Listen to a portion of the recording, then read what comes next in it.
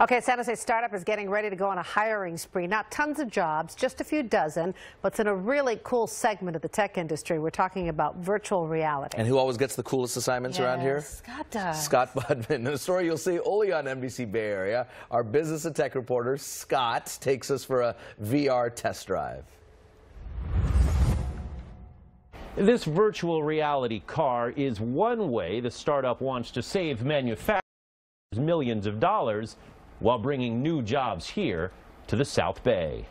And make the seat move as the guy will do in real life. Real life for many companies starts here in the OPTIS garage. So now they can do more like this too. The San Jose startup is using virtual reality to help companies build cars so you can study this before spending any money on these actual materials.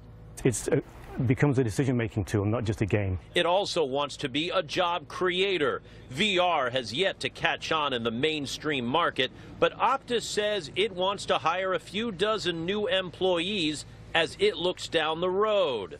Of course, we need, we need salespeople, we need technologists, we need consulting people to put on site and work with customers, uh, and technical staff to support us. I think many people think other areas in California might have the talent, but keep in mind San Jose is uh, a million strong. We have more millennials, more uh, science degrees living in San Jose proper than anywhere else in the state.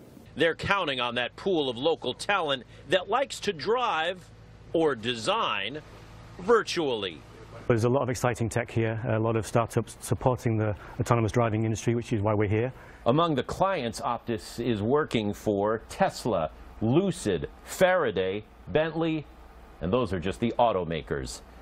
In San Jose, Scott Budman, NBC, Bay Area News.